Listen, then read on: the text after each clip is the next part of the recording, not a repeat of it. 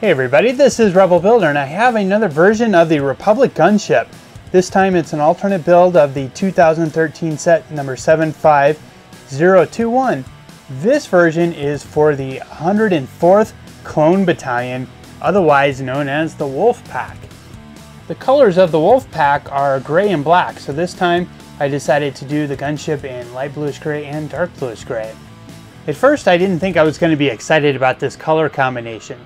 You know, the dark bluish gray, light bluish gray, you know, that's a very standard uh, Star Wars color combination. And I thought it would be too subdued without the bright colors or even, you know, I've done blue and I've done orange and some green too. But really, I'm happy with how this one turned out. It's a very military looking color combination and it just really fits the Wolfpack well.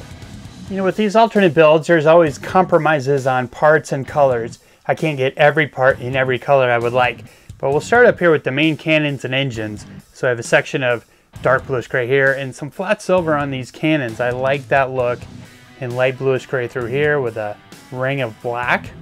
You can see the stripes of dark bluish gray along here and here on the wingtips. You know, that's standard to what the set had. I added a little tile here, some curved slopes here, just trying to give it some more color. Now this wedge slope piece here, this was one of those challenges I talked about. I didn't have any of those in dark bluish gray, which kind of surprised me. But I found this piece on a different set that had this big dark gray sticker. So that worked really well in this situation.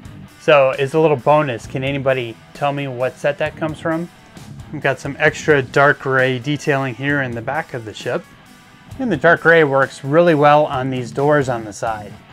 The side of these doors is another example here where I added a little customization, you know, just a round slope on there to add some more uh, contrast.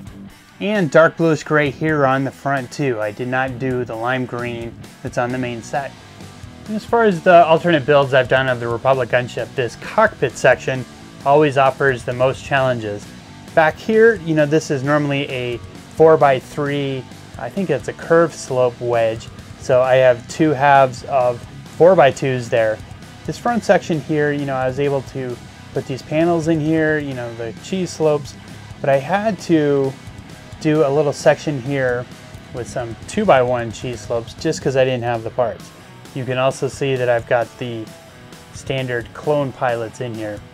Now, if you're really paying attention to my clone troopers in this video, you notice that I don't have a full squad of the real clone troopers here on the left with that really awesome wolf pack insignia on the top of the helmet. So I wanted to have some more. I only had three of those real guys.